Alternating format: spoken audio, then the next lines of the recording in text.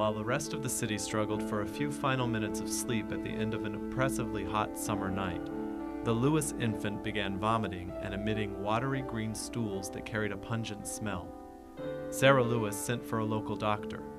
As she waited for his arrival, Sarah soaked the soiled cloth diapers in a bucket of tepid water. As her little girl caught a few rare minutes of sleep, she crept down to the cellar at 40 Broad Street and tossed the fouled water in the cesspool that lay at the front of the house. That is how it began.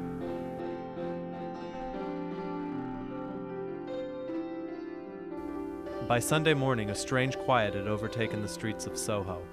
The usual chaos of the street sellers had disappeared, as most of the neighborhood's residents had either evacuated or were suffering behind their doors. When word arrived of a terrible outbreak in Golden Square, Dr. John Snow was ready. That many casualties in such a short stretch of time suggested a central contaminated water source. But he needed to get samples of the water while the epidemic was still at full force. So he made the journey across Soho, into the belly of the beast. He had re examined his samples from the Soho wells in the light of day and found nothing suspicious in the water. The more he thought about it, the more convinced he became that the water supply must have been contaminated somehow. But how to prove it? John Snow spent most of Tuesday looking for patterns. Equipped with a complete list of names and addresses, he returned to Broad Street. He stood at the base of the pump and ran through the list.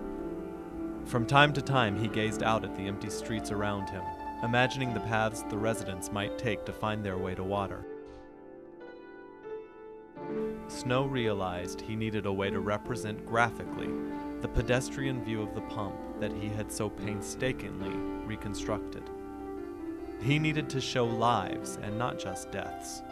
He needed to show the way the neighborhood was actually traversed by its residents. Snow's Broad Street map was a bird's eye view drawn from true street level knowledge, a neighborhood representing itself, its patterns plotting themselves on a map. It is also an emblem of a certain kind of community, the densely intertwined lives of a metropolitan neighborhood, an emblem that was made possible by an unimaginably savage attack.